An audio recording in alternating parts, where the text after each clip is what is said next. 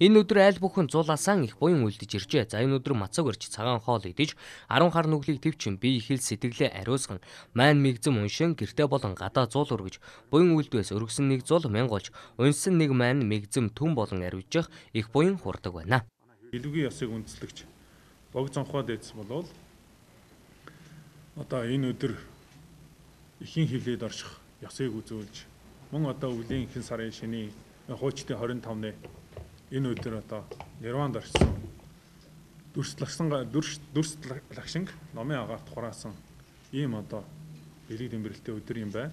Тэгээ энэ богдламын одоо шашин номд илгэрсэн энэ орон газрууд бол тэр үеэс 1600 1300 1450 19 он тийм ээ 1357 онд оноос хойш бол одоо энэ өдрийг сайхан зулын 25 гэж зул өргөж буян хурааж ингэж ирсэн ийм одоо уламжлалтай юм байна. Монголчууд богд зонхын дүүчийн өдөр болохоос өмнө ууз маха бэлтгэж гүйцээд зулын 25 дохиох үед тэдгээр амьтдыг сайн төрөлд олуулахын тухайд буянд шамдан зул өргөдөг уламжлалтай. Эхний ном сургаал бол өөрийнхөө муун сэтгэл, инсонистайгаа тэмцэхэл одоо зорилготой шүү дээ. Тэгэхээр би өөрөө буруу сэтгэлтэй байна уу, муу сэтгэлтэй байна уу, тэдгээртэйгээ хэрхэн тэмцэж байгаа вэ гэдгийг тэрийг их санаж Тэ шиний 8 15 дэргүүтээ ингээд сарда олон өдрүүдэд тэмдэглэл өдрүүдээр хүн нэг хилэн зийхгүй байх. Бусдад ямарваа нэг бусдын янз жаргал болох зүйл цаад болохгүй байх. Өөрөө одоо ямарваа нэгэн буруу зүйлээс татгалзаж сурах тэр зүйлээ дадлагшуулахад нь их төлөвс болж өгдөг.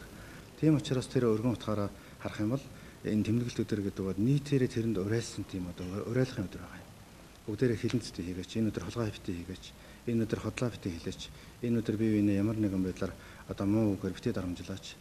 Бүү одоо бие биесээ үзний сэтгэлээр бүү хандаач гэж энэ тэмдэглэлт өдрүүдээр тухайлан ямарваа нэгэн зүйлийг за би энэ өдөр нэг ийм зүйлүүдийг нэг хийхгүй хориглоод өмжөөд үзье да гэдэг нэг өдөр ч гэсэн дадлагшуулахт нь бол тэмдэглэлт өдөр тэмдэглэл хамгийн чухал байдаг.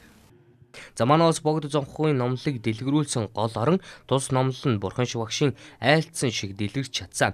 За шашны ном сургаал гэдэг өөр юм уу сэтгэлдээ тэмцэхэд оршдог хилэнц хийхгүй байх. Буруу зүйлээс татгалзах зуршил бий болоход тэмдэглэл өдрийн ач холбогдол оршиж байгаа юм а.